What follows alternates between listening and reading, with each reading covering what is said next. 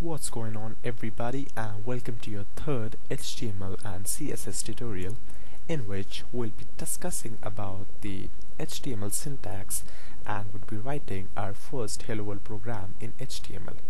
So to write your first program in HTML what you need is a text editor. Now a text editor is pretty much like Notepad which comes by default installed on Windows PC and you have various other text editors like the Sublime Text right here I'm using. This is Sublime Text if you wish to download. Then we have Notepad++ which is also a very good text editor.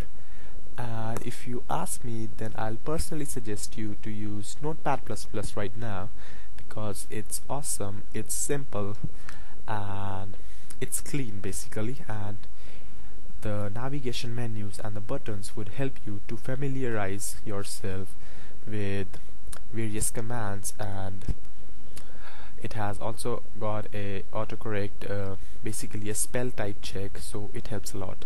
But if you want to look some like a geek or a professional then you're free to use this Sublime Text which is free text editor but you have to purchase a license for it after some time.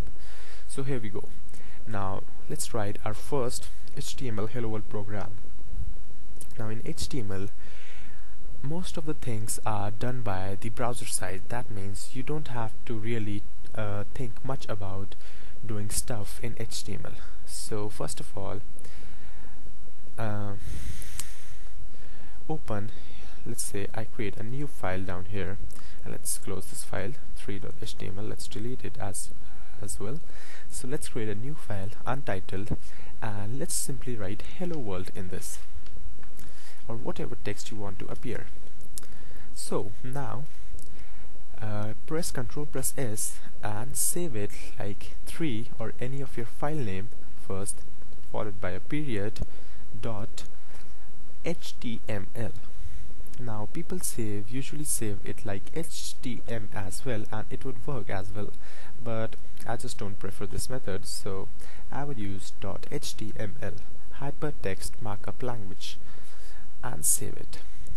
And congratulations you just wrote your first HTML hello world program.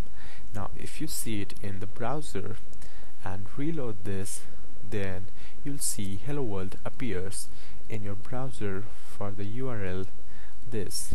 And this means space just uh, Chrome would escape that. So this is the file URL and hello world appears like a charm so that's how you write a hello world program.